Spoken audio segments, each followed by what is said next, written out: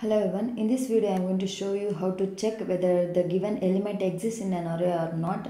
So look at this Word document. So array variable is a type of variable which enables you to store multiple values of same type of data like this. So if it is, it is employee names, it should be store only string type of data and when it is employee salary, it will store only int type of data.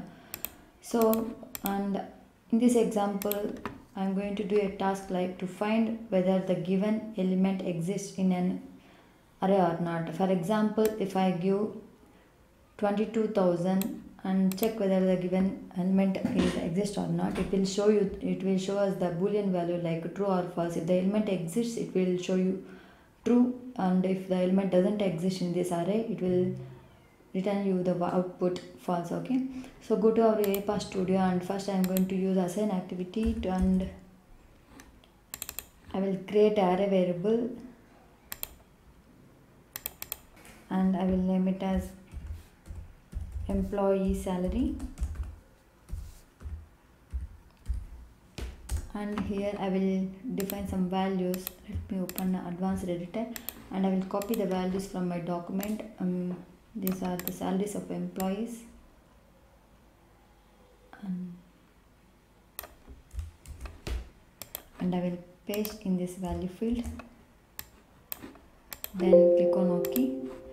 So values is added to this employee salary variable. Now we need to change its variable type to array of integers. So okay and now I will use WriteLine activity to display the output. And simply I can pass the variable name employee salary here. And I will use the predefined method which is contains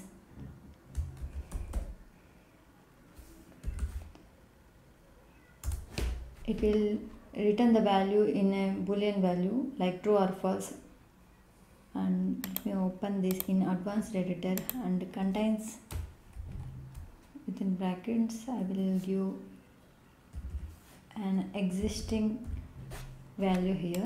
And we can expect the output which is true because 22000 is exist in the variable employee salary array okay? So click ok and we need to convert this to string. So dot to string method and then click on ok. Exception is gone. Let me run this code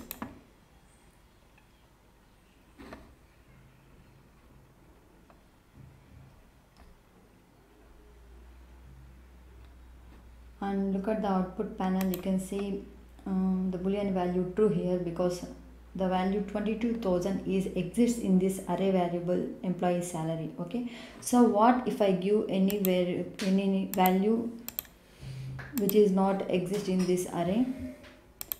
So let me open advanced editor and i will change this 22000 to